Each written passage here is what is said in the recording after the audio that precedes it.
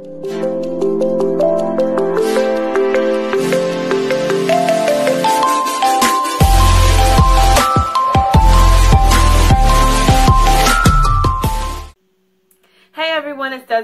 SincerelyMrsMommy.com, a mom lifestyle blog dedicated to sharing tips, advice, and inspirational stories for and by the modern mom.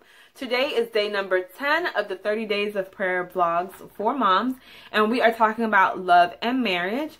And, you know, when we get married, some of us had children before, so we're bringing children into the marriage. Some of us were actually a couple that had children together and then got married. And then there are others of us who didn't have any children before, um, not as a couple, not individually, and we get married, we have a little bit of time to ourselves, and then the kids come. And either way that the kids come into the marriage, it is a transition. It is um, sometimes it could be a struggle, and you are relearning yourself as a parent and you're relearning your spouse as well as a parent because sometimes we think oh this is the way that i want to raise my child but then when you bring somebody else into the picture to help you with parenting, it's like, wait a minute, our ideas are not really matching up. And um, what I thought that I wanted to do as a parent has changed. Now that I am a parent, it's like, oh, reality set in. This is what I really can do, and this is what I can't do. And so it can be very struggling. It can be very um, difficult, but there is hope. The thing that is important to do, and what I've learned um, in our four years of being parents married with children is that we have to be intentional. Sometimes the days are long and it's just like, you know, you go from one thing to the other. You wake up, you get the kids ready, you go to work, you come back, you do homework, bath, dinner, and you just go into this cycle, this cycle, this cycle. And sometimes you don't really have that much time together by yourselves. Um, we have to be intentional about going out on dates. We have to be intentional about taking time with each other. We have to be intentional about, you know, at the end of the night, you know, um, not just, you know, rolling over and go to bed, just, you know, like let's talk, let's have a conversation, like let's talk about what's been going on in the day. Um, with the kids or not even with the kids, like what's going on with you? We have to find ways to be like re in tune with each other and to just be um, loving and kind. There is a scripture in the Bible that talks about love. I call it the love scripture, and you may already be familiar with it, but if you're not, it's First Corinthians chapter 13, verse 4 through 5. And this is like the best explanation of what love is and what love looks like. So let's read it really quickly. Love is patient, love is kind. It does not envy, it does not boast, it is not proud, it does not dishonor others, it is not self-seeking, it is not easily angered, it is it keeps no wrong, it keeps no record of wrongs. And I actually have oh my gosh. Bang myself with love. I have it um in this um, picture form. This was actually a housewarming gift a friend of mine gave me. And I'm sorry if it's backwards. I don't know what it's going to show up like for you guys. But we have this in our room. And, you know, I was thinking today when I pulled it out to bring to this video was like, we should probably um, read this every morning. Like, we do morning prayers with the kids.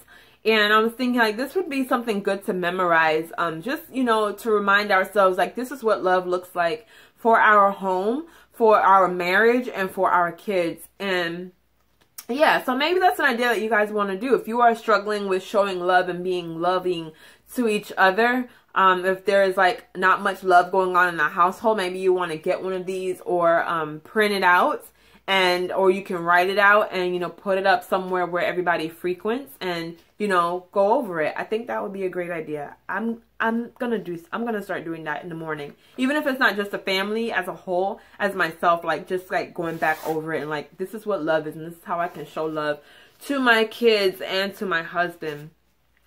And it may seem like that's a lot of things to do. Like that's a lot of examples of what love is and I'm just not there. Like we are just not at that place. But one thing I can say is you can start with just being kind. Everybody knows what being kind looks like. You know what it feels like when somebody is being kind to you. And you can extend that to your spouse. Um, you may feel like they don't deserve it. They have been absolutely disgusting and rude and inconsiderate or selfish. And like I can go all, you know, the list, you can probably list all the ways that your spouse is like not deserving of love. But, you know, God calls us to love each other. It's like the greatest commandment. Um, you know, we have to love each other. It, it can cover and help so many things. And if you don't know how to start with love, just be kind with each other. Just start, you know, by the simple things.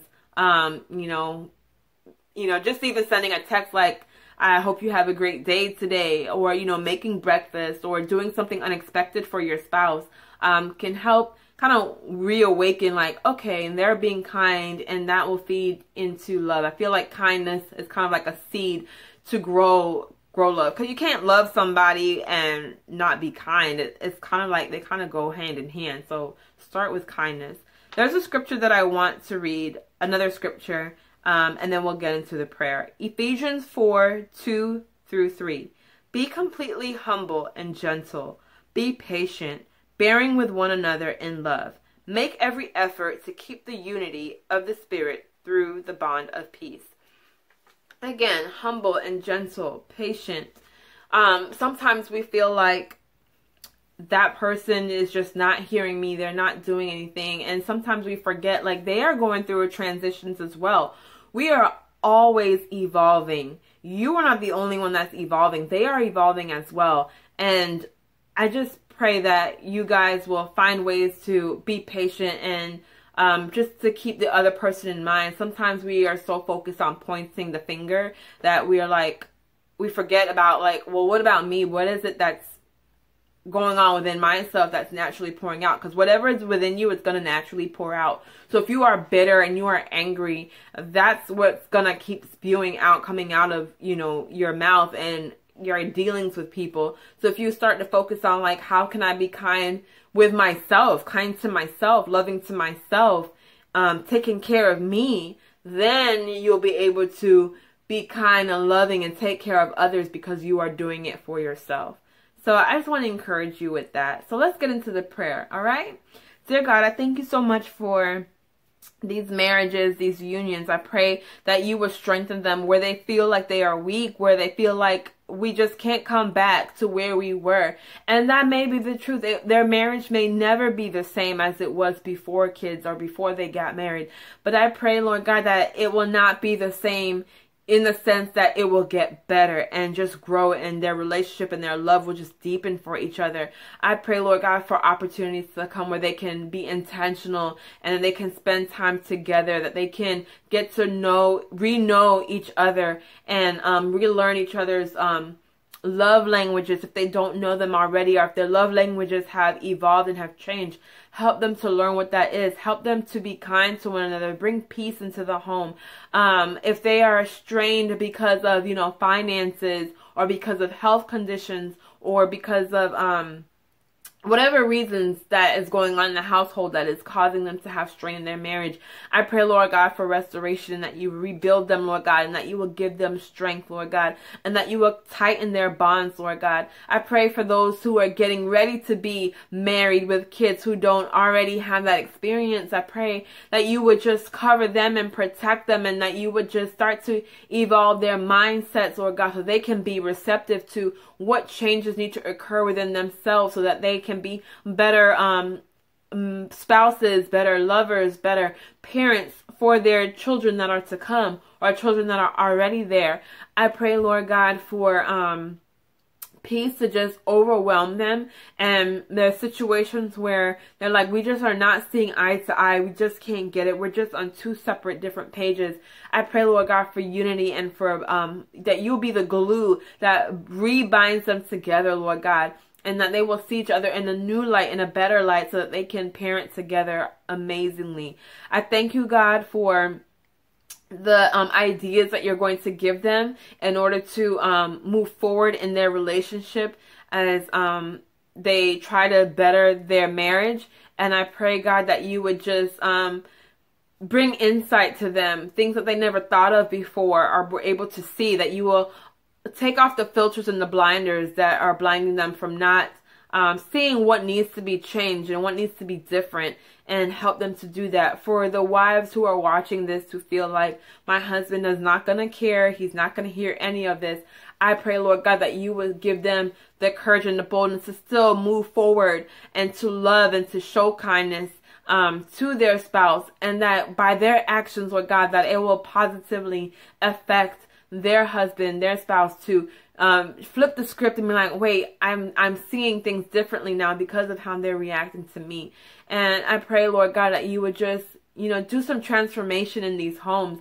Our children are watching us and um, they may not say anything now, but years down the road, they will remember. And even if they don't remember exactly, they will remember how they felt in the home. And I pray, Lord God, that um, the tension that are in the home, that it will cease, Lord God, so that these children can feel peace and that they can feel love and they can feel secure and safe in their home. And I pray, Lord God, for those marriages that they will also feel peace, that they will feel love, and that they will feel security within their marriage as well. Help them to be examples, positive examples to others of what to do, Lord God, and that um, they will just continue to be influential in a positive way to others and to their children as they work on their marriage. Thank you, Lord God, for restoration. Thank you for peace.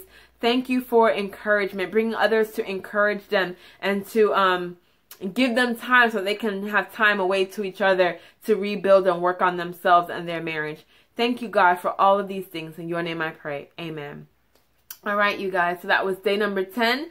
Tune in tomorrow for day number 11. I pray that you will have a great day and a great week in your marriage and that transformation and restoration will definitely occur. Have a great one. Like, comment, and subscribe. I'll see you on the next video. Bye-bye.